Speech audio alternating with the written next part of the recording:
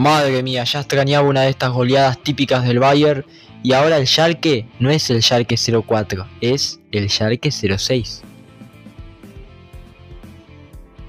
Bueno, mejor me dejo de chistes dentro del vídeo.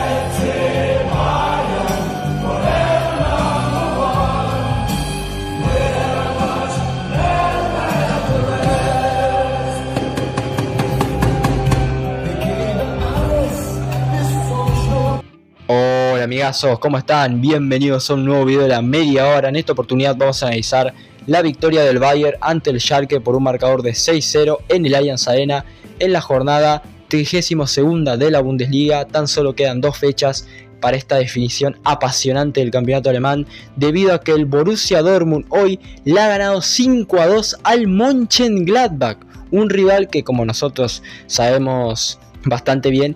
Es muy complicado y la verdad que las abejas han jugado un partido realmente muy bueno. Es cierto que sobre el final se pudieron complicar un poco la vida como casi siempre lo hacen, pero pudieron someter a los potros, cerraron con aquel gol de Reina al final y bueno, la verdad que el Dortmund teniendo en cuenta el calendario que le queda, que es este Habsburgo y Mainz, pienso yo que va a ser capaz de sacar esos dos partidos adelante y veremos a ver si el Bayern consigue vencer al Leipzig en el Allianz Arena y luego ir a la cancha del Colonia para definir el campeonato.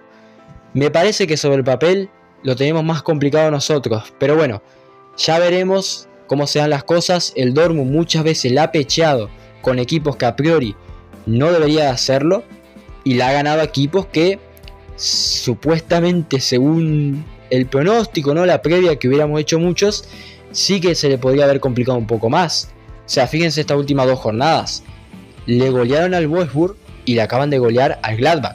Dos rivales que por cómo venían daba la sensación de que iban a meter en aprietos al Dortmund y la verdad que el equipo de Terzic ha mostrado una entereza que hace tiempo no le veía a las abejas y pienso yo que si para la próxima Bundesliga muestran este nivel de juego más algunas incorporaciones que puedan hacer, podrían por fin conseguir quitarnos el título.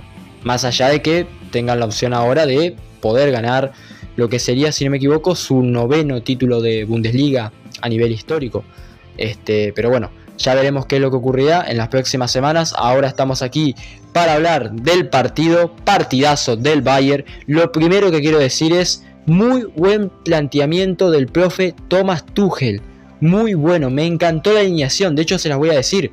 Saben en portería pareja de centrales, este, Benjamín Pavar, Matis Delic, lateral derecho más Rauri, lateral izquierdo Cancelo, como pivote y único mediocampista Joshua Kimmich en el medio, Jamal Musiala, Thomas Müller, por la banda derecha Leroy Sané, por la banda izquierda Kisley Coman y arriba Serge Gnabry.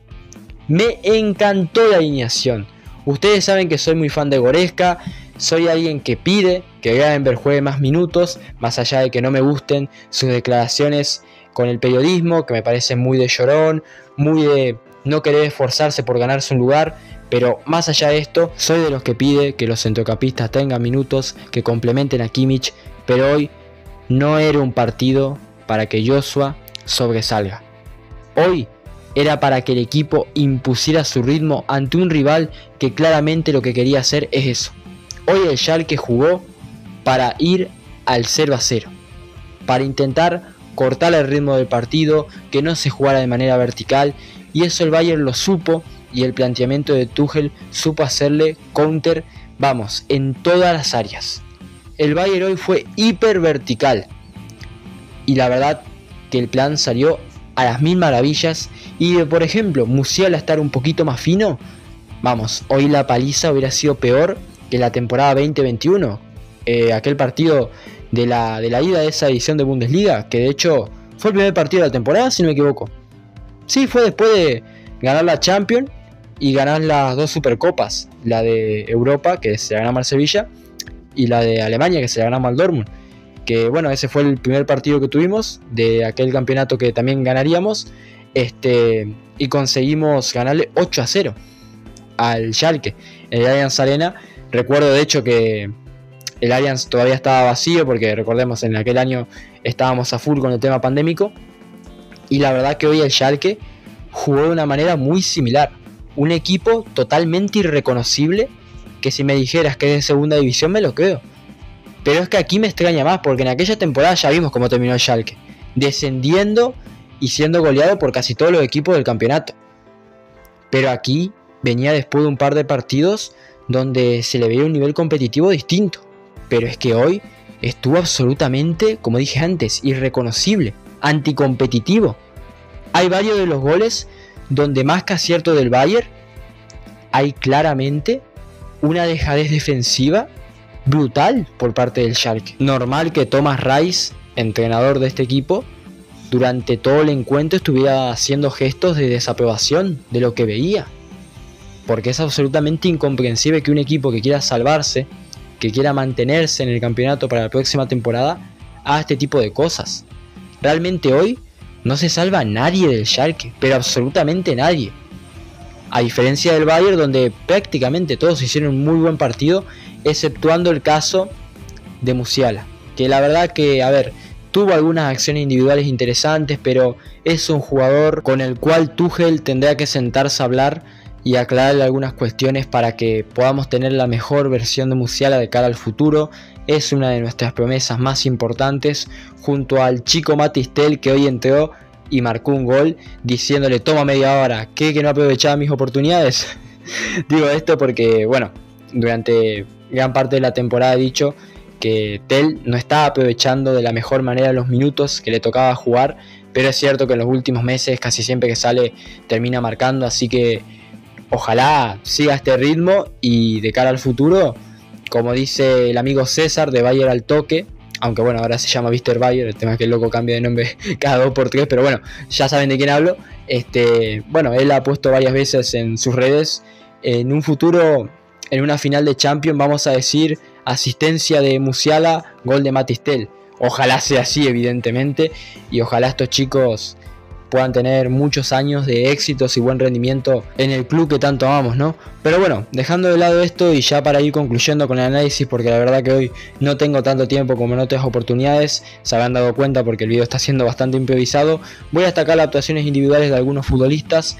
El partido de Sané me ha parecido tremendo, este, más allá de que a nivel numérico no haya sido, digamos, el que más aportación tuvo, pero es que las internadas en el centro han sido brutales por su parte aprovechó todo el espacio que dejó el Schalke en su intento de marcar a Joshua Kimmich, que terminó provocando un resultado seguramente peor del que ellos esperaban, debido a que cuando dejas conducir a Sané, cuando lo dejas girar y lo dejas internarse, es prácticamente un fatality.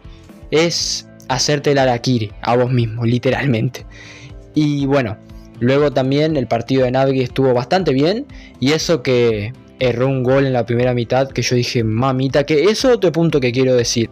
Que a pesar del 6-0, a mí me parece que el Bayern hoy perfectamente puede haber metido más goles. No solo porque era las típicas situaciones, ¿no?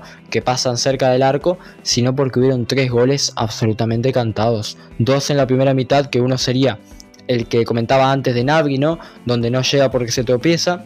Este, una acción que si me equivoco es anterior de Müller que se quiere meter con pelota y todo dentro del arco, este, termina dudando si pasarla al medio o pegarle él, luego la agarra Coman, este, la sacan, bueno, una situación donde la mayoría de equipos del mundo del nivel del Bayern seguramente terminarían convirtiendo y nosotros cerramos de manera absolutamente lamentable.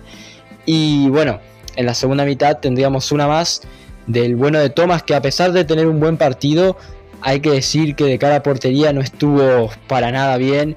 Erró un gol que, Dios, o sea, no puede cerrar ese gol. Müller es incluso peor que el de Navi, porque bueno, por lo menos Navi dice, me tropecé.